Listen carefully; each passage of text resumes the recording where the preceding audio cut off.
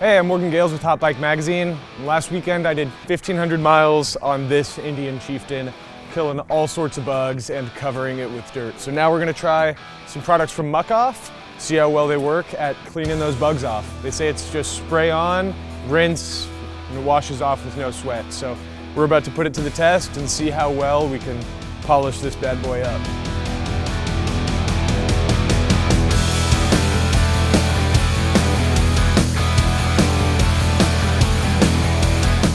So luckily that was as quick and easy as I anticipated and you guys didn't have to spend too long watching me wash a bike. It's just a little spray on, a little bit of brush work, rinse off, and then we sprayed on the protectant and wiped that down. Obviously the bike is night and day, much clearer than we started. Now it's uh, at an acceptable cleanliness level to go out to a bike night and go show the thing off like it deserves to be. So thanks Muc-Off for making a nice easy job out of washing my bike.